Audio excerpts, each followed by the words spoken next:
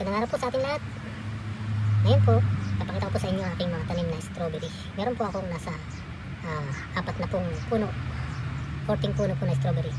Iwawalay lang po siya, hindi ko po kasi maliit po yung space po. May kanya-kanya pong ano siya, place. Ito po yung una. Yung unang tanim po, ito na. Bumunga na siya. Ginawa ko po dito sa tabi ng wall niya. Tabi ng wall ng ah, tabi ng bakod po. Ikaw po ako galing sa company.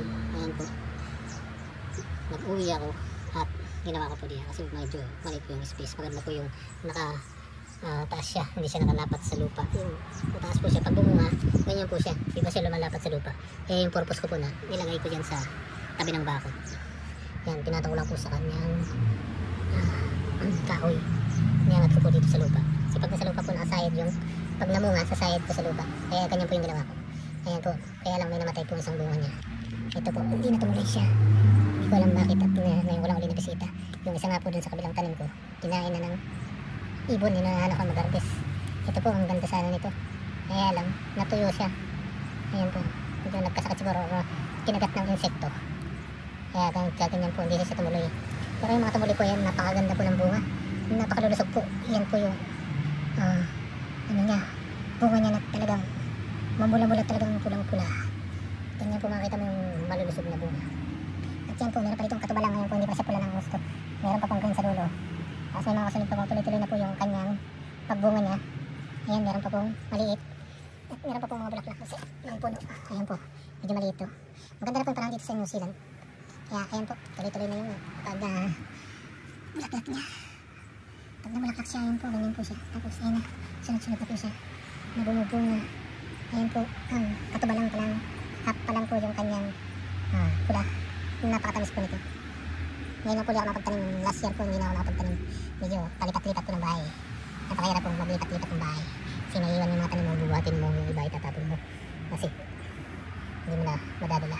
Pero ngayon po nakapag-stay kami dito sa malaking space na backyard. Marami po akong gulay dito. Papakita ko po sa inyo sa susunod na aking vlog. Ito po, lipat po tayo sa kabilang tanim po. Ito naman po yung tinanim ko dito. Yung iba namatay po. Hindi ko alam bakit. Yata ng pataba. Medyo hindi niya tinanggap at uh, siya na malapit sa puno. Nga natin pag-aralan pa na ilayo-layo sa puno yung kanyang pataba. Yan po siya. Ang ganda na. Talagang pwede nga harvestin. At baka maunahan na naman ako no. Yan Yan po siya talagang kulang-kulang. Napakatamis po. Yan. Yan po yung kanyang pangalan. Strawberry Ventana. At ito po. Ang laki po niya oh. Oh, tatlo. Sa isang puno. Ayan po siya. Tapos may isa pang katabalan. Ayan pa po. Tuloy-tuloy na po ang pagsunod niya. Palibot po siya dyan. Kaya lang dito, namatay po yung tanim ko. Kaya ang tinanim ko ay lettuce na lang. Ayan po, lettuce ang tinanim ko. Dalawa, tatlo. Dito po kay kamatis. Ito, payat po at uh, pag naarawan siya ay mainit. Ayan po siya. Ito isa. Mukhang may sakit na naman po ito. Naiba yung dahon niya. Hindi kagaya nitong nakalulusog po ng dahon. Sige po, dito po sa kabila naman tayo. Ayan po, tuloy-tuloy yung bulaklak niya. Ang problema ko po ay bakit siya nagtutuyo.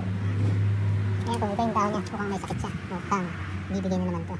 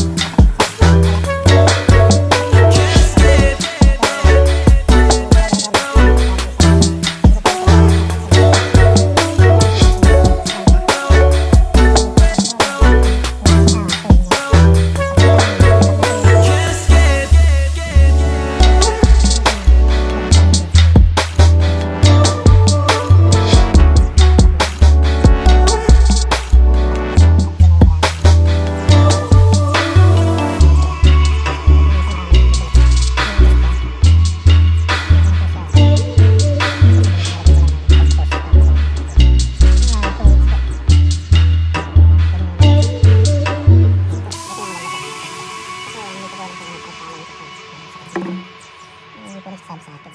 Pansin ko lang po na 2 days. 2 days na. Kung hindi pa siya nakasurvive, binalik ko kahapon. Siguro, ay ba yung sakit na. Ayan po, narating po talaga siguro sa strawberry. Ganun sakit. Hindi natin alam. Kasi nasa kalusog po nun. Hindi tayo nun. Madaon na. Tapos binalik ko naman po kahapon. Hindi ko lang po sure. Ah, alamin ko pa po. Ayan na po, ang dami kong runner. Hindi na po ako bibili ng siblings. Sweet. Iyan ko na po ililipat yan. Pagsampag pag umugat po yan, yan ko na muna papasibulin din. Pag may ugat na, saka ko lilipat sa isang pot na pakante. Pwedeng tumuli or ilipat ko sa ibang lugar. Ayan po. Ah, yung tanim din po ako dito. Tomato. Ayan po. May bulaklak na siya. Nakakatuwa po. Yan po yung pinakamasaya sa pagtatanim ng mga gulay at prutas at mga halaman. Pag namumunga na, yan po yung isa sa pinakamasaya. Namumunga na siya, nakita mo yung makawala na lahat ng pagod mo. Kita mo yung pinaghirapan mo. Ayan po, kapag malulusog siya. Ang bilis po niyan lumaki. Hmm. Ayan na po, pag bumaba na siya, yun na. Sulit na yung, ano niya, ikip niya. Bababa siya ng palaking, ah, 2 to 3 days po yan. Ang bilis po niya.